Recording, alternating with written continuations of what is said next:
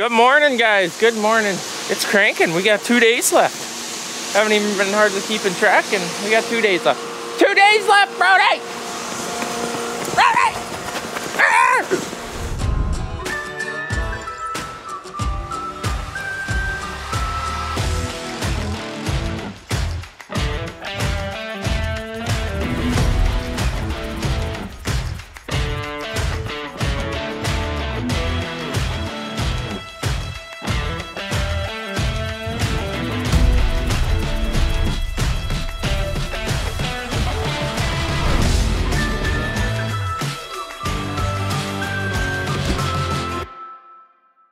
You want to show them what you've been doing, running, how you're running your combine? Well, you're gonna show them, you have the camera in your hand. You really run her hard, don't you? Oh, did you shut my cover yet? No. It's still open. It looks better. Oh, there we go. There's supposed to be three there. It's supposed to be a triple belt with a back that's tied together. We're down to two and they're separated. It, it should be fine. Just cover it up. You'll never know. No one will ever know. I think there's vibrating because this latch comes unlatched. No, it's always been like that ever since it was new. Why won't it stay latched? I don't know. It always opens up. Don't ask. Trap got left open. It's like your Kinda. file too. That was nothing to do with me. Oh, Out in the field. No, it's cool like that. I didn't. I never spilled. That's always you. Okay, I know a fact spelled. I can see it. It looked exactly like this. I will not confirm or deny anything. Here it comes! You went way too far! Yeah, so I'm pretty excited about uh, two days of harvest, but we are so, so, so, so far behind on tillage and fertilizer, terribly behind, just due to how wet of conditions it's been. We just kind of been kicking it down the road to deal with it later. So they are rolling today on tillage, but they got a lot to do. All right, it's been uh, a long time since I last talked to you. We've been greasing. There actually, we're not too in a hurry today because we have to haul out about 20, 25,000 bushels. Then we might have enough room to fit the rest of the crop. So the trucks have been hauling to town. Four of them hauling to town. Now we're gonna go combine, I guess. Morning everyone. I'm finally back out doing some fertilizer. I got 26,000 pounds here. It's going to be an old 70-55 blend going on uh, some corn on corn ground of mine actually. The field I'm in is what I call my south quarter because my house is over there. This is going to be black beans next year, so we won't be putting any P and K on it in the fall here. Uh, it's such a small little blend. I'll just do it all in the spring with a little bit of urea in there. So this one's ready for tillage. We did get a little bit of rain last night. I got the truck back on the approach, so it should be fine, but I don't think it's too much rain to stop tillage, but should make it look really nice. This field, I have four acres, five acres of uh, corn down on the north end that was CRP last year. I broke it out of CRP. Yeah, that did about 80 bushels.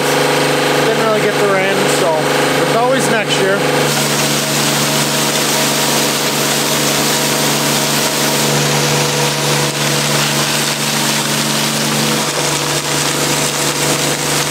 I had sprung a leak.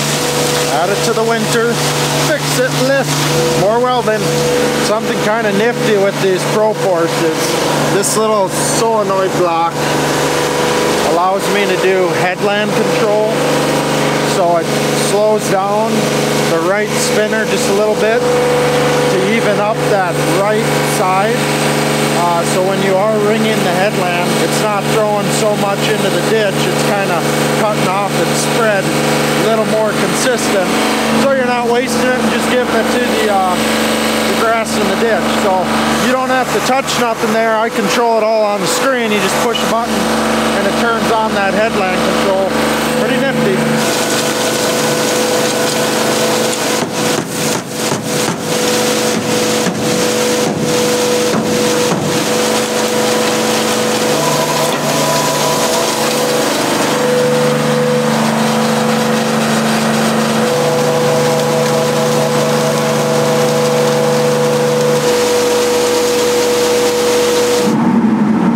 Like about my camera.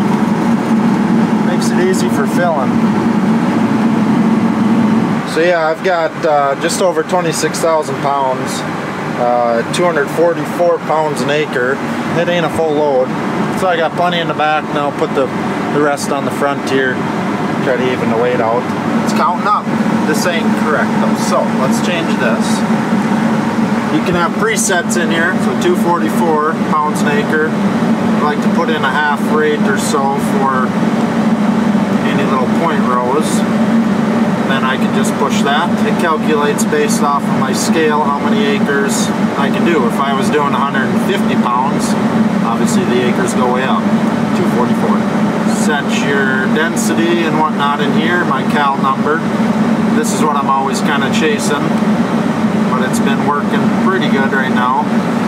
Density of this is 64.8. Not much of a difference.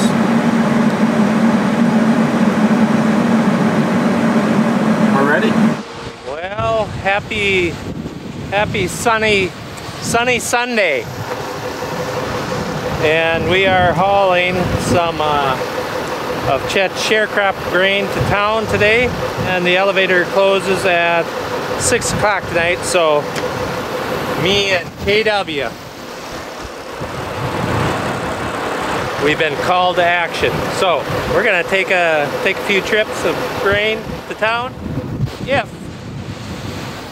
the dryers are gonna behave. Otherwise, I'm gonna be only taking one trip to town. So if any of you do not know what those are, those are called crossfires. And all they are is they equalize the tire pressure from the inside dual to the outside. And then uh, if the black lines, that one's a little low, the black lines line up, then they have got 100 pounds in. Now I over pump this one, so the black lines, it's showing a little red, oh, too much red, or that means there's over 100 pounds. Not a big deal, each tire has the equal amount in it, but uh, I, I really like them. They do make them, they do make them for singles, super singles, but we have not put them on this truck. So I have to check these and we do not use truck very often. There is uh, 90 pounds in there. I'm gonna put 95 in each one. And you can buy different poundage ones of the crossfires if you so choose. I believe they're 95 all the way up to 120 if I remember correctly.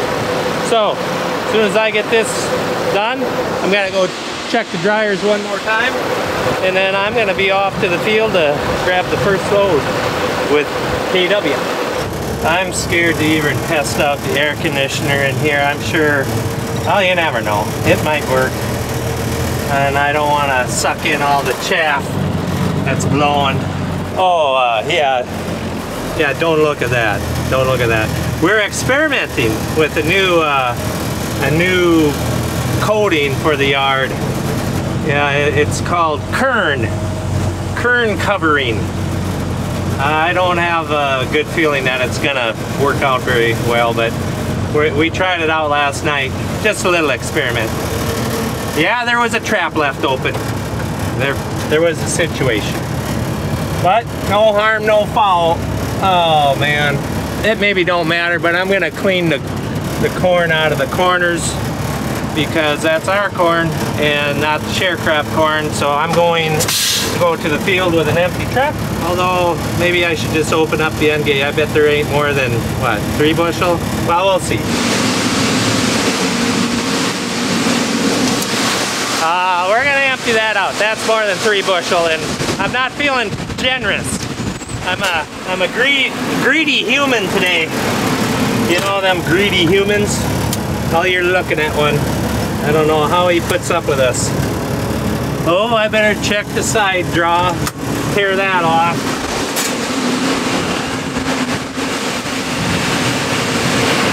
I can't see, but I bet that would have been the end of the side draw. I'm not gonna risk that. I'm gonna just back up and dump in the other pit. Yeah, that'll work.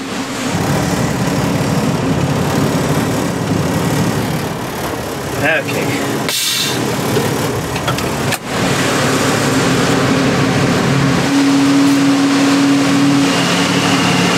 I knew I could do it.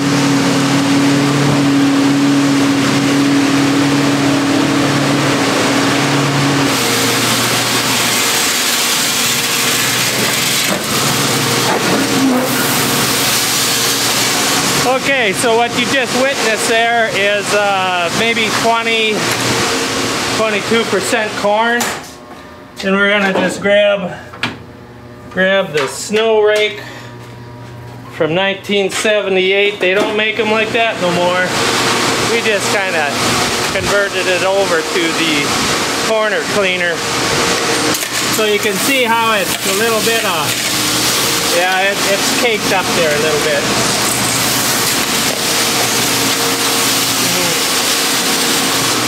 I should have cleaned that out last time. It'll blend. Okay, I got one mile away from the field and the east dryer called me, so I came right back home. And now I'm gonna take off, head towards field again, and uh, try it one more time. I also had to help get the tillage drags back on to the implement. That thing, uh, that thing is starting to eat the back U-bolts like uh, child eating candy. I don't know what's going on there, but I'm tempted to uh, maybe do a little fabbing. Two, I think the first two years we didn't touch that machine, and now the back U-bolts for some reason, not a big deal. It's very easy and simple to to fix and put back on, but I'm thinking I might just drill them holes out and try to put the next size bigger U-bolt in because I don't like downtime. It's so inconvenient.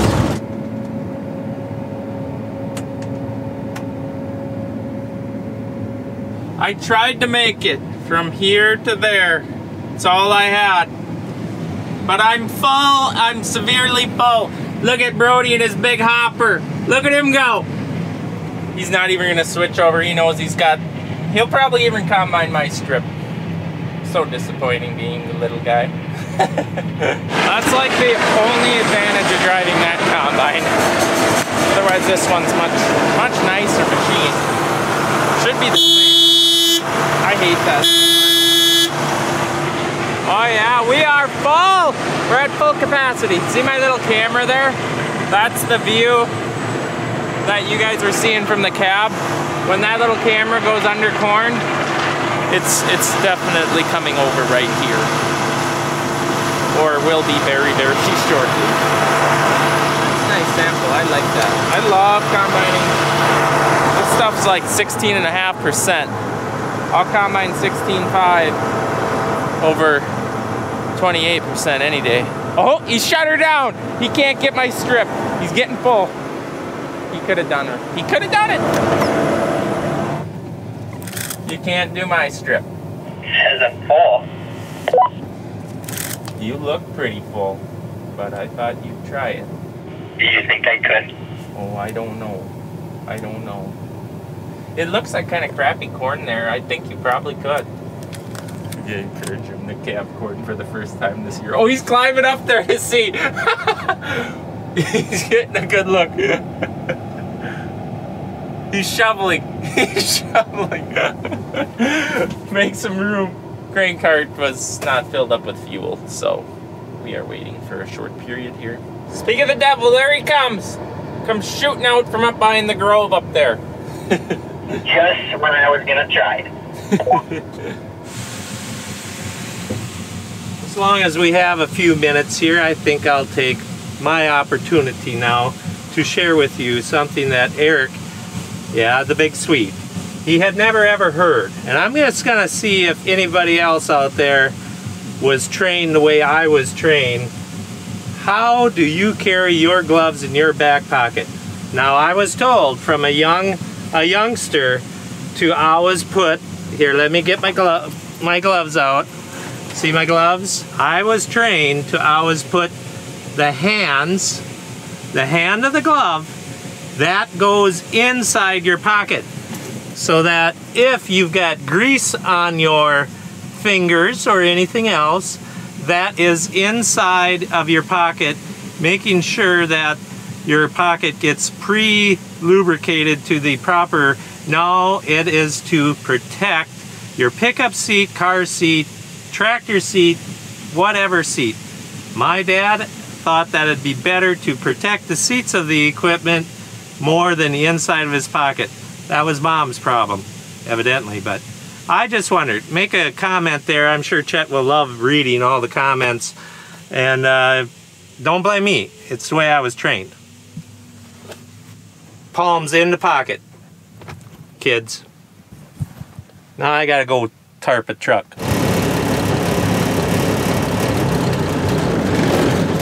You guys gotta be careful out here. Could get run over. We have successfully, I say successfully, made it to town. No issues. KW is running like a top. Let's see, lane one. It said lane one, right? Yes, yes it did. Okay, stay tuned. We have successfully unloaded and are entering the outbound scale now. And where we'll pick up our little ticket and uh, see what we had for moisture and head back to the field. And we're off. We got Chris running the 580 today. Jordan's gonna be running the other grain cart. So Eric can spread fertilizer and hopefully keep all the wheels on the bus going round and round. So he's cut over. We're trying to make it a cut through down the middle. So we gotta do this because obviously neither one of us is gonna make it a mile. He can make it, uh, oh, I don't know, the little over halfway. Corn yield's pretty good. Gonna be a lot of grain moved off this field today. Hopefully. And just like that, I'm the leader and Brody will be right there. And now I have nothing fun to watch besides corn go down. Kind of like being the guy following. I get to surveil. I'm like the surveillance team, making sure nobody runs over anyone else or backs into anybody else. So then when I'm the leader, then I'm out, always nervous that I'm going to be the guy that backs into somebody. Oh boy, we're coming into a hot zone. Lots of lots of inlets. And it's going to be either me or Brody that gets this one. Right there. And I'm the lucky winner. I am, and it's a good one, so I can't even mow it off. Dang it! Ah. I always hope on a, I always hope on a strike through that it's just a crappy flag and I can just, you know, mow it down. I never do that. But, you know, the hope's there. Oh, come on, I thought we were done with the mud. Who invited the mud to the party? Come on, 9R. Come on, 9R. yeah. Oh boy, back to the mud. Chris, you're leaving ruts. So I don't know if you can see, but there's two different varieties out here. Right where my finger's at, it's the line indicating here. Oh geez, Brody, you got a flag coming up right side. Looks like the top is about falling off, so up to you. If the pole is shot, we just mow them down because generally by the time the flag is missing, the bottom is so frayed out that it's not even worth keeping. So, anyways, this is Pioneer corn. Standing really nice. It's a miracle. Joking, somewhat serious. but what we're trying to do here is this Pioneer is uh, about 16.2 to 17%. So we're dumping that in the bottom of the wet bin and we are not going to be cleaning that out. We are going to try to end the season with 17, 16 to 17% corn in the wet bin and then that will be what we haul out first and maybe try to blend it with some drier stuff or I don't, I don't really know what the plan is. It scares me, the thought of that scares me really bad just because I don't want a bin to go bad.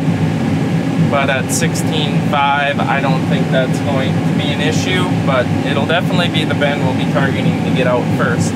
So we're gonna put this 16, 17% in the bottom of the bin since it's the morning, it's empty. and then we're going to put the wet stuff on top. We're gonna dry out of the wet bin and dry the wet stuff. And once we get to the dry stuff, we're just gonna quit, go into the other field once we've dried all the wet corn, go into the other field that's 16%, top the bin off, and hopefully that ends our season. Hopefully, in our minds, that's, that will work. We'll see if it works. So we're out on some uh, new ground to us. Uh, landlord retired. He did kind of some minimal tills, so it's quite smooth out here actually. Also exciting. You uh, get out into a field I've never been in. Bring it with the fertilizer tender fertilizer spreader here and look for spots that might be trouble. I don't know, just get to learn new ground. So this is a quarter here, it's an 80 across the road, and then kind of a more cut up quarter than a 40 adjacent to this one that I'll be spreading on here. And then uh, we'll get the halo out here and get this looking nice and ready for next spring. Gonna try some corn out here next year. So learning. Well, Chris was out here with the halo uh, two nights ago, I think. No, I didn't get the fertilizer on it yet. We just wanted to get it work in case some weather came. And this looks amazing. You could plant into this. Excited to use that tool in the spring. Looks really good out here. Problem with them doing tillage before I spread P and K, if I don't have a good turn in with the tractor, everyone's going to be able to see that all winter until next spring tillage. And I am dealing with case auto track, so it doesn't always grab the line very well. We'll get her. We'll get her. For those wondering if there's any issues with tillage before you do P and K, not really.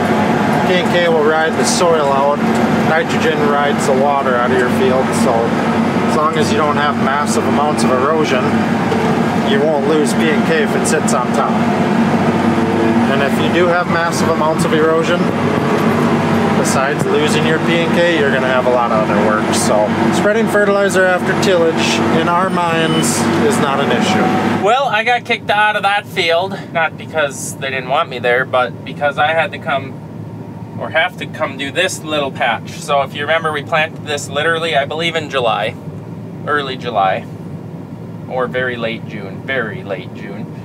Uh, we planted this 12 acres and it, it was grass green when we were here and 40% roughly, 38%. Now it's dry, we're towards the end of the harvest season and I've been sent in to see how muddy and bad this is gonna be. I really don't know how this is gonna end, so I'm taking you with. We'll see what we get into. Okay, I got my rear wheel assist on. It ain't gonna be bad here because I'm along the edge. What do we got here? Wow, 170, 180 for uh, yield, which is impressive for the planting date, but the moisture is uh, back into the 27%. Luckily, it's only like 12 acres here, so it is what it is. I am surprised that it, you can plant corn that late and it actually mature. It unloads like 28% corn. Look at how slow it comes out. Ugh. Yucky, yucky, and it's all ground up. Okay, well, I got the... There's the coyote. Oh, they got a coyote running. There's the driest part been harvested, the one pass along. Look at how slow it unloads. Oh, I don't miss that at all. Anyone want to come do this for me? With their machine? I'm very scared. Looking down all the rows as I was going past, I could just see glistening water the whole way through this this whole area here. Okay, I'm taking what I think will be the driest pass through here. So far, so good. Definitely spinning, but not, it's feeling more solid than I anticipated. Okay, right there's a little water. Oh, I got this. I think I got this. On this pass, anyways. Okay, we were sinking eight inches the whole way down. Okay. Let's hope it don't get worse.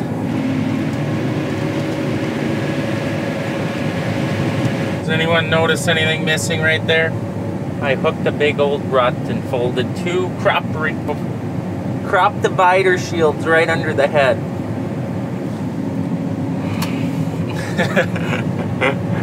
That's so not good. Look at him.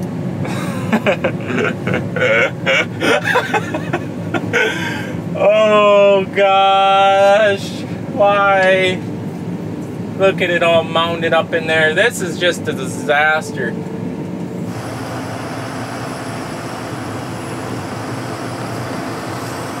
That was, that's not good. That's bad. That's just sad. It's like a sad elephant trunk. We'll add that to the bill of this uh, experiment. Well, we adjusted them up as high as they would go and they're still too low, so I got the head riding really, really high to get this done with. And then hopefully I can get some new snouts tomorrow, maybe.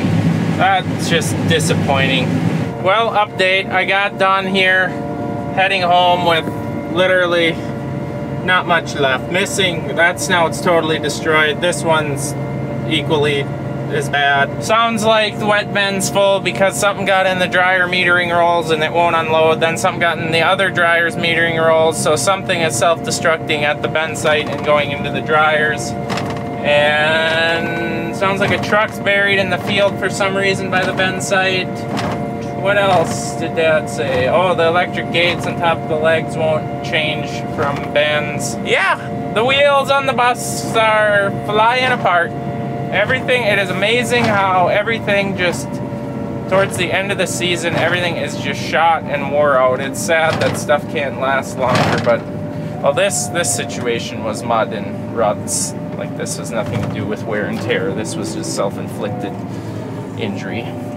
But something bad is happening at the bin site, and Dad's been working on it all day. I don't know if he had a camera, but his uh, attitude is quite poor, and I best not even record him.